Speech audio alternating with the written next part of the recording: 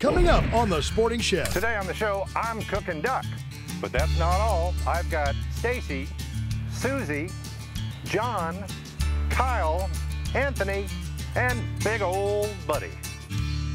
Coming up next, I'm going to show you what this duck looks like on the inside and maybe a little egg on top of my duck and rice dish.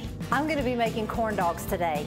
It's everybody's favorite fair food. Final touch to this is squeezing a little bit of lemon to it. That's the sound of love right there. Establish the angle you just learned on your Work Sharp and quickly and easily hone your knife on the bottom of a cup. And by all means, get rid of that hand grinder. It's killing your knuckles.